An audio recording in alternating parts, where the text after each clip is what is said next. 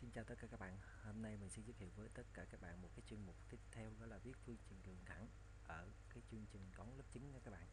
Rồi à, thì hôm nay mình sẽ xin giới thiệu với tất cả các bạn cách để mà tổng kết tất cả các uh, các cách hay là gọi là các dạng viết phương trình đường thẳng của chương trình lớp 9 mà các bạn hay gặp. Rồi các bạn các bạn hãy tham khảo uh, những uh, những dạng này và các bạn kiếm những bài tập cần thiết để hỗ trợ cho tất cả các bạn biết được ờ, tất cả các dạng này và hướng giải quyết của nó như thế nào cho nó hợp lý nha các bạn. Rồi mình uh, bắt đầu vào cái chuyên mục uh, viết phương trình đường thẳng uh, của chương trình toán lớp 9 nha. Rồi cái dạng thứ nhất đó là lập phương trình đường thẳng đi uh, đường thẳng. Khi biết uh, đường thẳng đi qua một cái điểm và một cái hệ số góc cho trước à, rồi mình nói một cái vấn đề đơn giản cho tất cả các bạn biết à, ở phương à, cái phương trình đường thẳng ở chương trình lớp 9 thì giải quyết được phương trình đường thẳng thì các bạn chỉ cần à, tìm hệ số góc à, à, và điểm điểm đi qua là các bạn có thể viết được phương trình đường thẳng rồi nha các bạn. À, tại vì phương trình đường thẳng ở cái chương trình lớp 9 à, đó là y bằng ax cộng b. Để muốn viết phương trình đường thẳng các bạn phải nhớ ngầm lòng ngầm lòng trong cái đầu của mình là để viết phương trình đường thẳng ở chương trình lớp 9 thì các bạn cần phải có hệ số góc và cần à, điểm đi qua đó rồi đây dạng thứ nhất là viết phương trình đường thẳng khi viết đường thẳng đi qua một điểm cho trước và hệ số góc.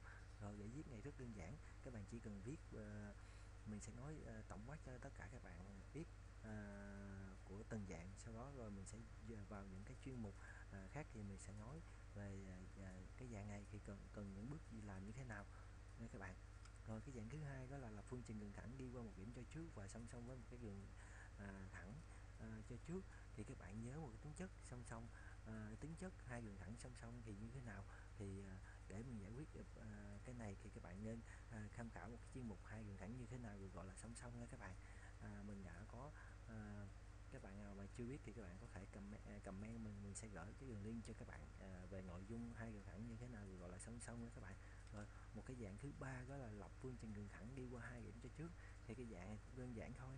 Thì các bạn chỉ biết uh, dạng này thì uh, hay, uh, thường gặp thường gặp nè. Cái dạng này là thường gặp nhất uh, thường gặp nhất uh, ở chương trình lớp 10 lớp 11 lớp 12 các bạn. Còn chương trình này thì các bạn cũng có thể gặp hay còn gọi là cái chương trình này để cho các bạn hiểu rõ hơn về giải hệ phương trình khi mà các bạn đã học qua cái bài hệ phương trình bậc nhất hay ẩn nha các bạn. Rồi một cái dạng thứ tư đó là lập phương trình đường thẳng đi qua một cái điểm cho trước và vuông góc. Ô mình xin lỗi là cái dạng thứ bốn của mình bị lỗi đó là cái dạng thứ bốn là vuông góc nha các bạn. À, vuông góc.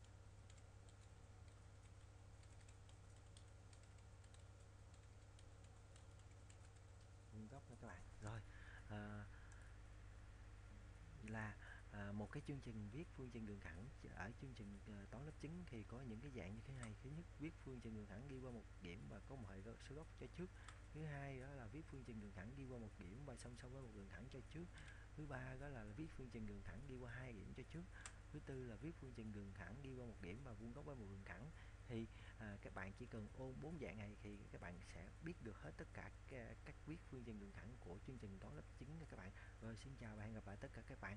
Còn các bạn nào muốn tìm hiểu sâu hơn về từng dạng à, các bước à, giải như thế nào à, cho nó hợp lý thì các bạn có thể comment mình à, mình sẽ hướng dẫn cho tất cả các bạn những cái chuyên mục à, nhỏ hơn để các bạn có thể hiểu à, giải được những cái bài tập nhanh gọn lẹ và chính xác nha. Và xin chào và hẹn gặp lại. Cảm ơn mọi người đã theo dõi kênh của mình. Bye bye.